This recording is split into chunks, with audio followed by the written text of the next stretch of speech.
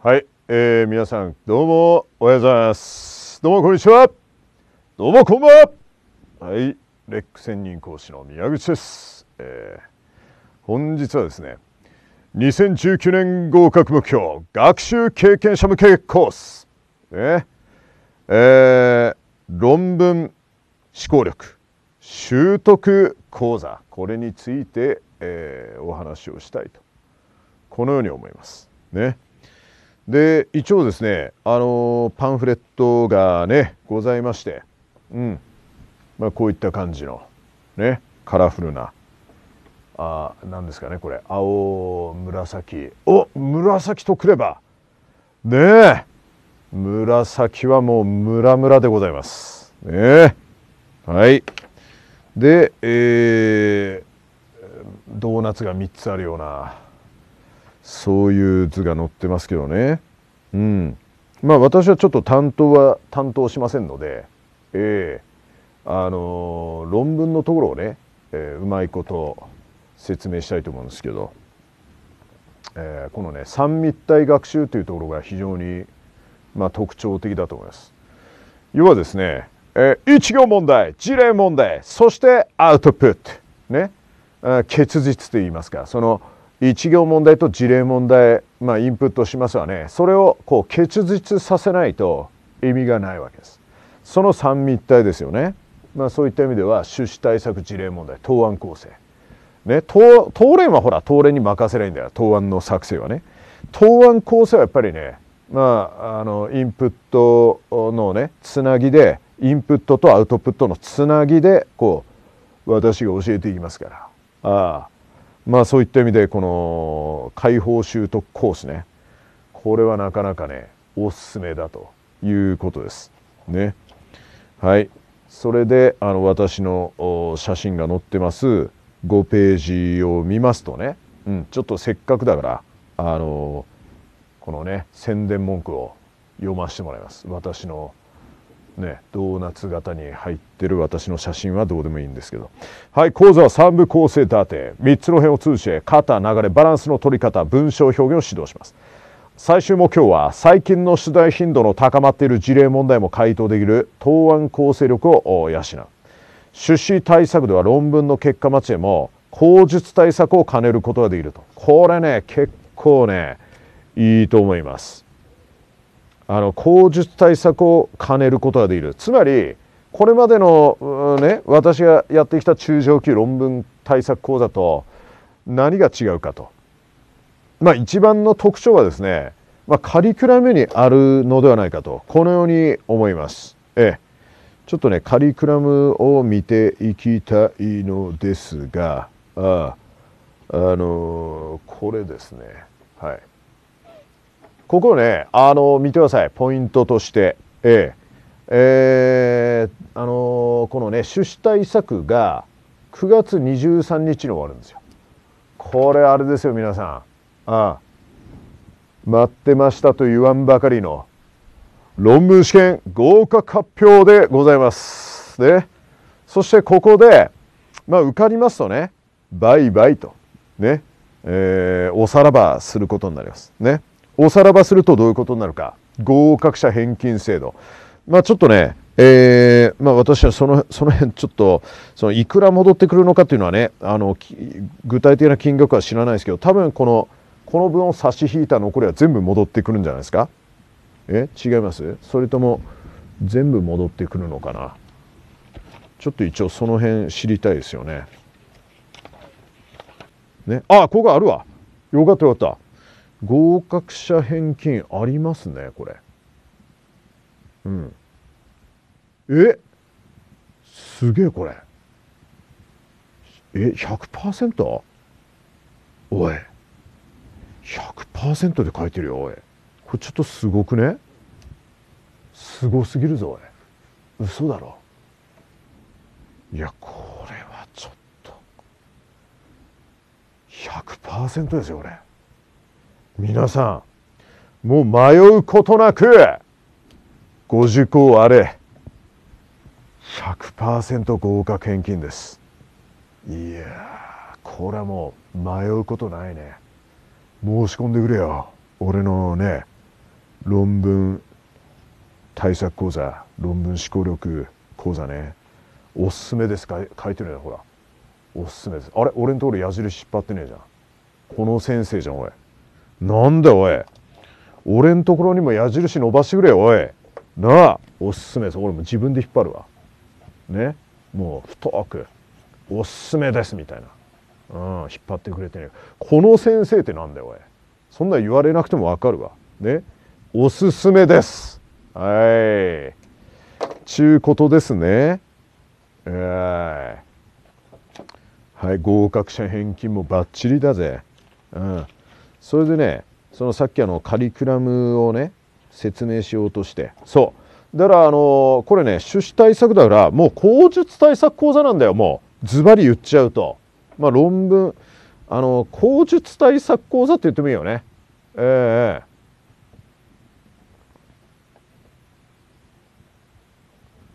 これ、うん、論文対策にもなるし口述対策講座にもなりますよ。ああ間違いなく。であのまあ受かった人は倍々なんだよ。あの残念ながらという人はねはい待ち構えております。事例問題対策講座ね。趣旨はもうここで鍛えてますから事例問題。そしてあの最後にですねあのちょっと待ってくださいよ。えー、答案構成編っていうのがあるんだよ。それはねえー、っとあこれか。これ通信ね。これは通信です。残念ながら。うん。これはあのー、そうだね。通信でいきます。答案構成編。短く書いて高得点を取るための工業展開。ね。えー、で答案のまあ、税肉をあのお見通し。答案答案も一応あの配布するけどね、うん、でもまあ答案構成に力点を置くから。あ答案も一応あのちゃんとつけますよ。でも通れんじゃないからね、うん、で進め方なんだけどえー、っとね、えー、ちょっとまあ趣旨対策から見ていきましょうか。次の対策につながる一行問題での講義展開。趣旨対策編では小事例を中心とした、えーと、演習問題を扱います。テーマが短く短期間で一通りの確認ができるので事例対策編のウォーミングアップとして受講してください。で事例問題対策本試験に直結する。そう。あの本試験にね直結する、事例問題。これを展開するんだけどそんなにね問題数は多くしません。うん。えー、私がそのえー、想定してるのはねあの問題3つだけですね、うん、問題3つほどあのやっていきます。ええ、だからまあサブ6、うん、3421特実はね。だから21問ぐらいなんですけど。まあ要するに通れんじゃないからね。何回も言うけど。やっぱりその一つ一つのある程度難易度の高い問題をじっくりとこう攻めていく。じっくりと解説していくと、ね、考えてもらう、ね、考えてもらう、えー、攻めていく。解説する。ね。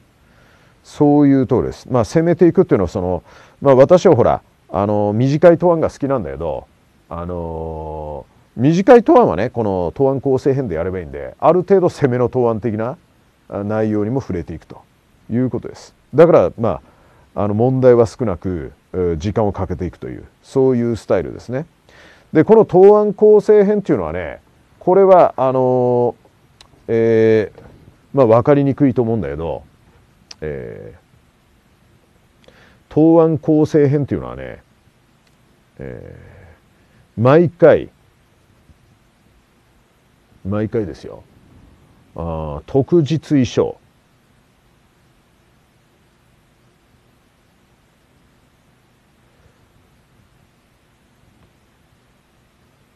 まあ、特特日で1科目だよね。あのこれで、えー、あのまあ1回が完了すると。つまり特日で2問やりますよね。特日で2問。えー、衣装で1問。ね。だから本試験と一緒ですよ。商標も1問。ね。うん。毎回これでいく。だからこれかける6だから、まあ四六二十四やね。えー、かける6回ですよ。これはかなり実践的だと思いません？これはかなりね、まあ、実践的だと私は思ってるんですがああねであのこっちのね事例対策編は毎回3問ずつやりますよ。ね。これはもう各科目ごとに3問ずつ。ね。3時間だから。ちょうどいいじゃん。1時間でそのなんて言ったらいいんでしょう。1時間でね。あだからねこれ休み時間ねどうしようかな。あの休み時間もしかしたらだよ。85分10分85分って書いてるけどもしかしたらその1時間ごとに休憩取るかもしれんからね。そこはちょっとごめんなさいね。85分10分85分じゃなくて3問やるから1時間ごとにまあ5分休憩とかね。まあそういうこともあり得るかもしれん。ここだけは、うん、それはちょっと注意してよ。趣旨はこれでいいです。趣旨編はこのこのスケジュールでいいんだけど事例対策はねえー、っと55分やって、えー、5分休憩。55分やって5分休憩、うん、そしてさい、まあ、最後は60分に収まるけどね。60分で、えー、あれするわ。で答案構成編はね、うん。まあ、俺がもう解説するだけだから、うん、これでいいと思うね。85分85分で。うん、だ事例のところはねあのちょっとこの851085じゃないかもしれないのでそこは、えー、注意してください。これいいですよね。まあだから本当ねあの口述に進むかな俺はっていう人ももう論文ダメあの落ちたかなっていう人も両方迷うことなくですね論文思考力習得講座これ進んで間違いないですね。うん、もちろんあの口述対策だけっていうのでもいいんだけどさ万が一いうことあるじゃん。万が一ダメだったらどうするんだろうね。っていう。そういう人でもねもうどっちにもにらみが効いてるというね。これはいいですよ。ね。で一応中身もやりますとね、うん、こんなんじゃ趣旨対策ですが、まあ、条文がこんな感じで載っててね。あの青本のねことが書いてあると。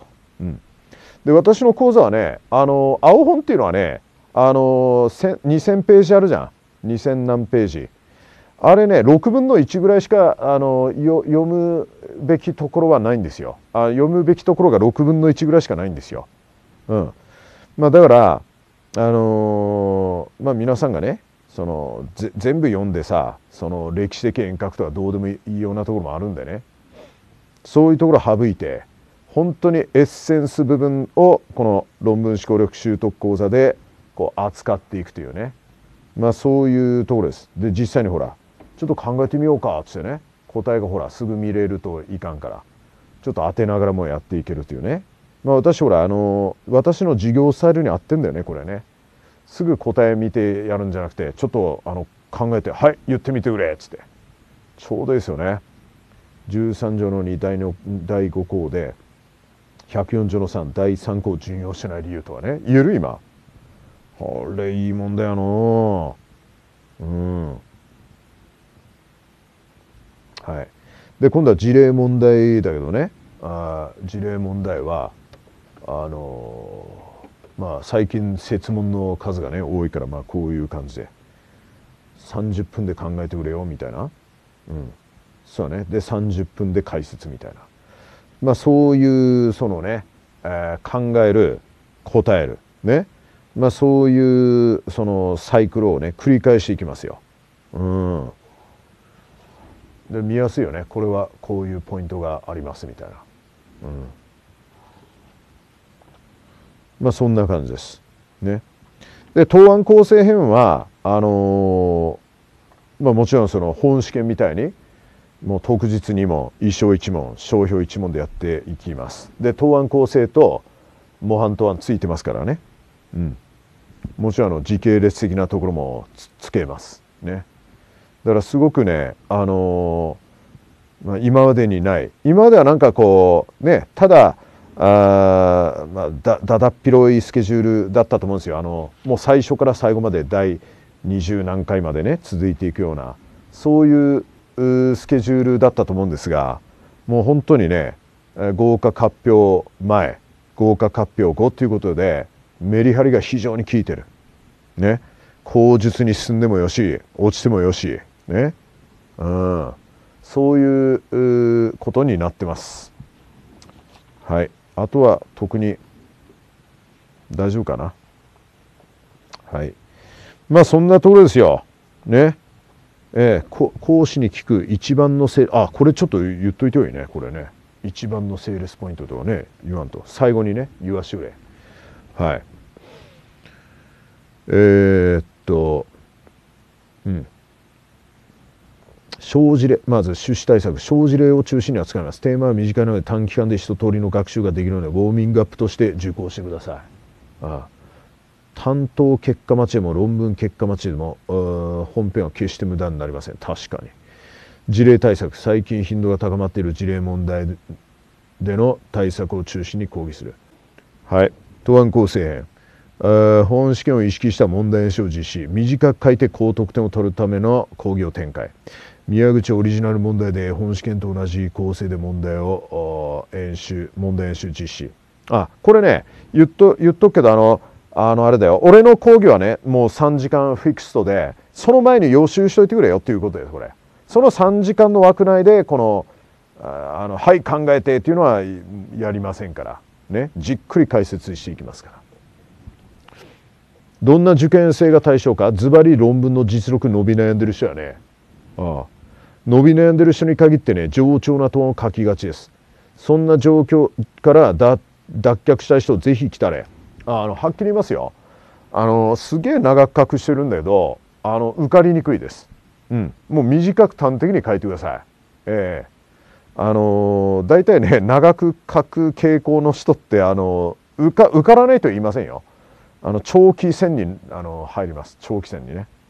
物事を端的に言える人っていうのはもうさっさと受かっていきますね。うん。はい。一番のセールスポイント。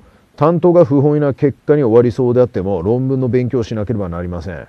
うん、で担当に受かってる人は論文の結果待ちとなり口述対策は頭をよぎりますと、えー、確かに。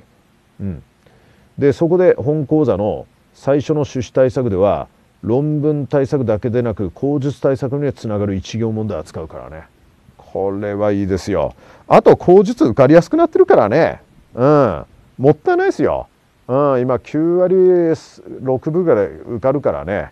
それぐらいだったらやっぱり万が一に備えてね論文対策やってる方が賢いね。